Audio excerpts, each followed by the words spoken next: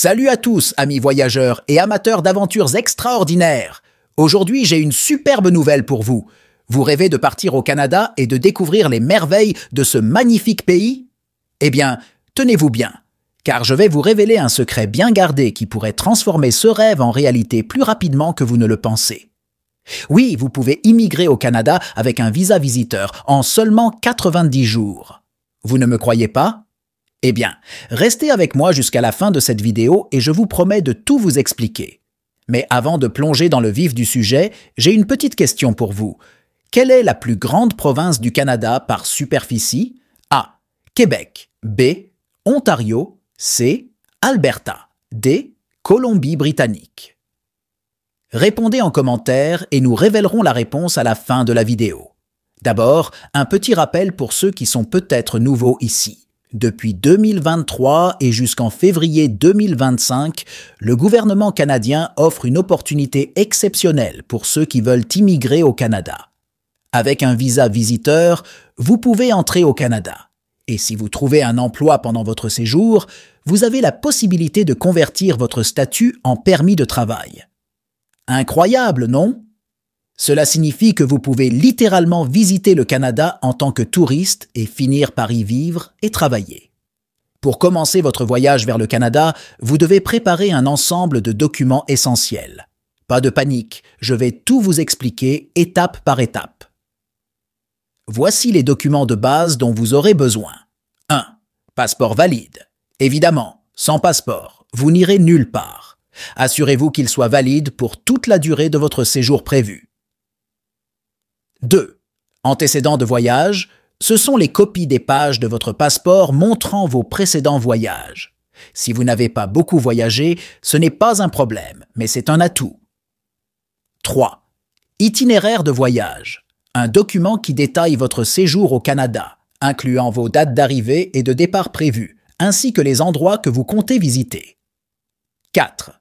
Preuve de fonds, vous devez montrer que vous avez assez d'argent pour subvenir à vos besoins pendant votre séjour. En général, un montant d'environ 10 000 dollars canadiens est requis. Petite anecdote. Saviez-vous que certains candidats rusés ont réservé des vols aller-retour fictifs juste pour obtenir leur visa? Bon, je ne recommande pas cette technique, mais il faut reconnaître que l'ingéniosité humaine n'a pas de limite. Une fois que vos documents sont prêts à jouer, il est temps de les soumettre en ligne.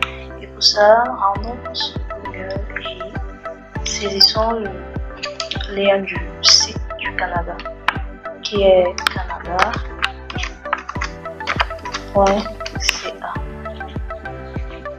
Désolé, j'ai fait une petite erreur là.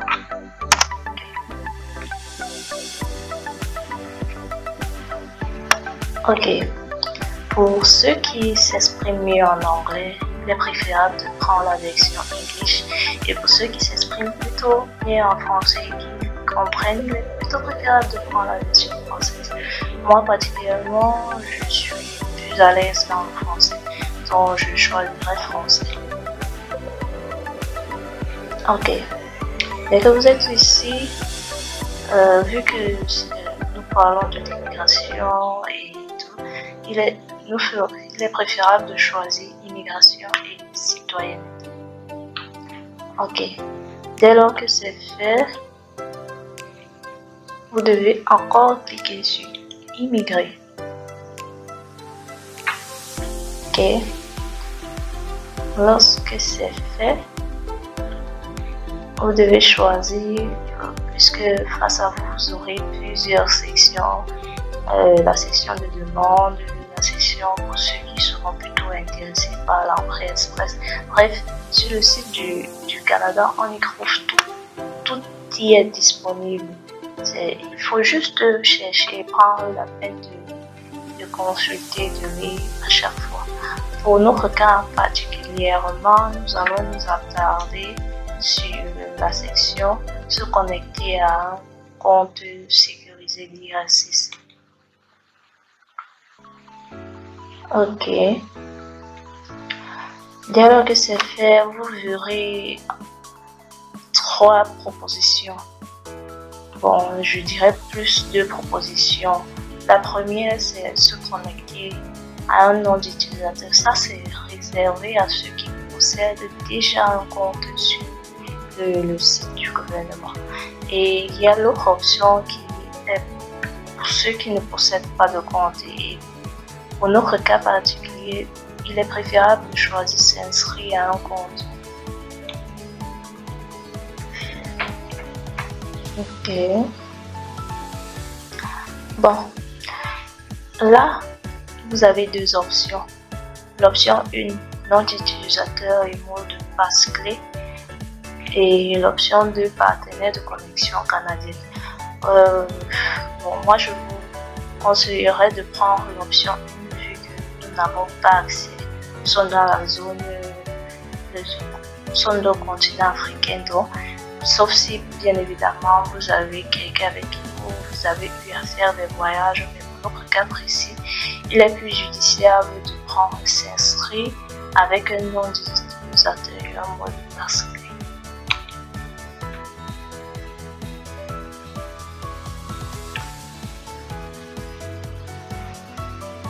Ok. Bienvenue, bienvenue au service CGLC. Pour ceux qui possèdent déjà un compte, un compte sur le site immigration, ils n'auront qu'à entrer leurs données et se connecter. Mais pour nous particulièrement, nous cherchons à créer un compte, donc nous n'avons pas d'éléments, rien. Donc euh, ici, euh, la meilleure option, c'est de s'enregistrer. Vous avez modalité et conditions d'utilisation.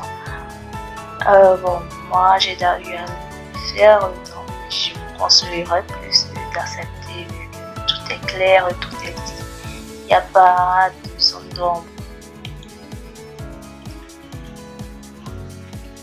Ok.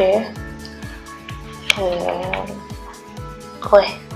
À ce niveau, il est très important de, de ne pas faire d'erreur en prenant un nom d'une carte, un, nom personnel. Donnez un nom que vous n'allez pas oublier, mais qui n'est pas lié à vos comptes, vos comptes importants ou vos comptes personnels. Pour ma part, je, j'y mettrai euh, Nadège. Nadège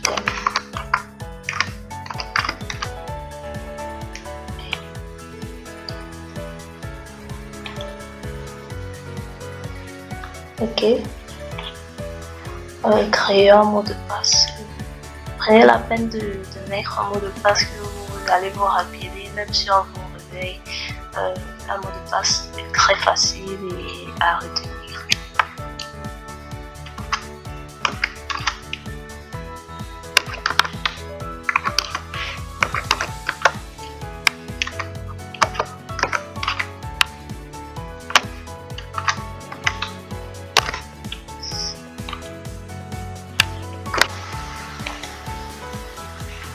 Ok, c'est fait.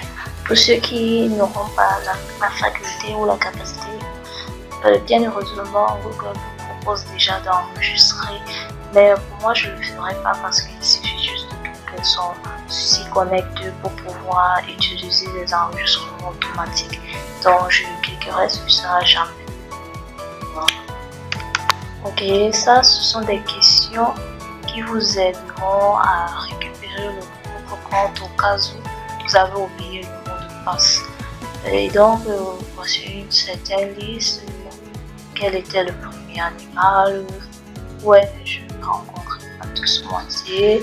Où était mon premier animal de compagnie.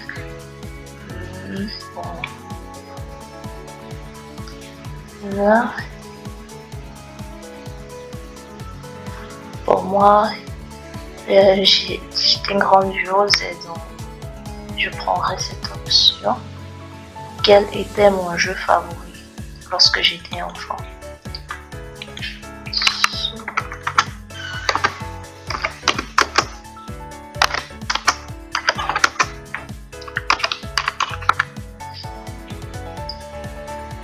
Ma personne mémorable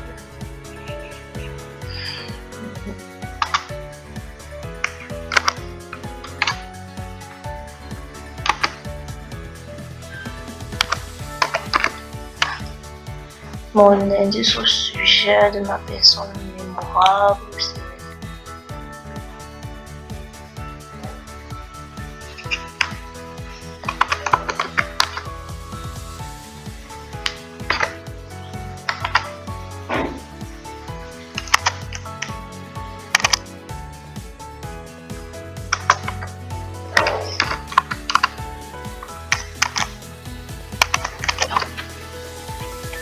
c'est Mhm.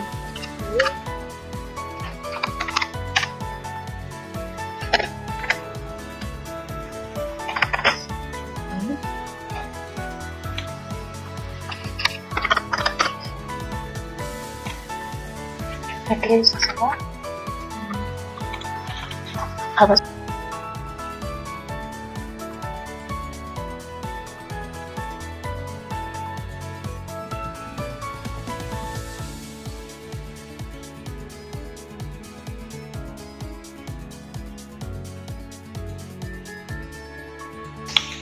la création du compte.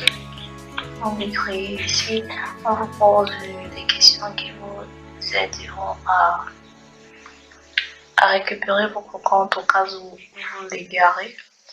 Ici, c'est par exemple, moi, j'ai par exemple choisi quel était le nom euh, de mon école, école primaire de Saint-Gérard. Question quelle est ta couleur préférée Moi, je vais... Je sais pas ce qui se passe.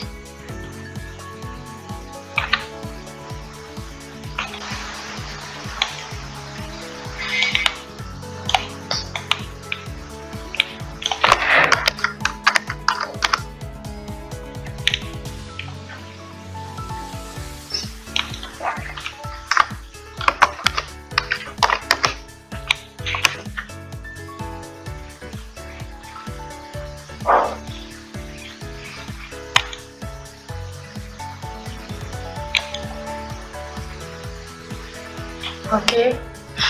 Et donc voilà, votre compte qui a été enregistré. Là maintenant vous pouvez faire ce pourquoi vous êtes là, si vous voulez présenter une demande pour venir au Canada, si vous voulez euh, plutôt opter pour la présentation d'une demande de couverture temporaire. Bref, vous avez maintenant les cartes entre les mains accéder aux différentes étapes que, aux différentes propositions faites par euh, Canada.